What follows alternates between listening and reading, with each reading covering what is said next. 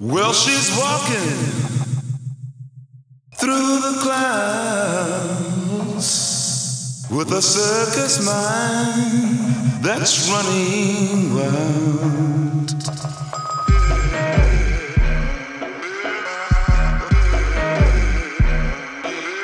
I have this theory that the more you're aware of time, the more slowly it moves, which could make light speed travel possible, but only if you were to concentrate your impact. Butterflies and zebras and moonbeams and fairy tales.